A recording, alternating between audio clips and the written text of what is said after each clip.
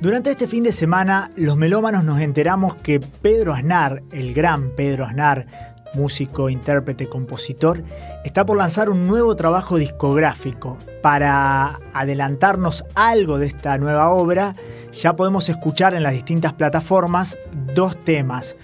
Uno de ellos es Construcción, un clásico de Chico Huarque, y el otro es La Chacarera de los Gatos de María Elena Walsh. Este disco va a tener como eje central la música latinoamericana y estas interpretaciones fueron tomadas de lo que fue un concierto que brindó allá por fin de año en la ciudad de Buenos Aires. No es la primera vez que Pedro Aznar toma un concierto y lo hace disco y ya le ha ido muy bien en otros trabajos que se han transformado en obras emblemáticas de su prolífica discografía.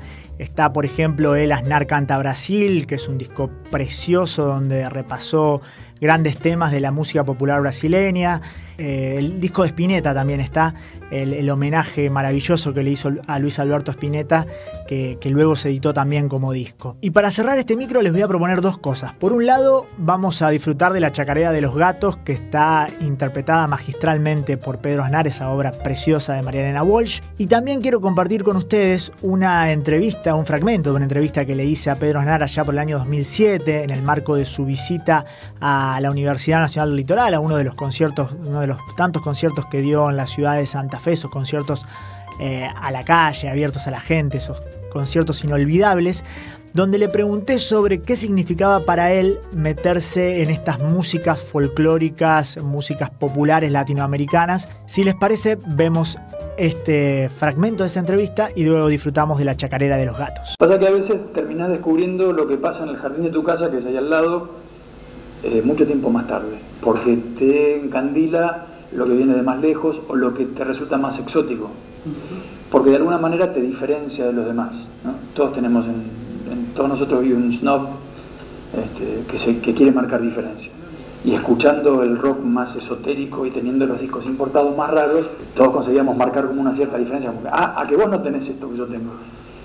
Como un intento de aproximación y y de apropiación en el buen sentido de la palabra, de algo que ya no se es propio, porque estamos, como te decía antes, está en nuestro jardín, ¿no? está acá a la mano. Pero decir, ok, el hecho de que yo tenga un rosal acá en el jardín no me hace automáticamente un, un buen observador de su belleza. Tengo que aprender a observarlo. Y tengo que, tengo que hacer el ejercicio de observarlo, tengo que aprenderlo. Y te tenés que detener en eso, porque es una belleza que a veces es obvia y te pasa de largo.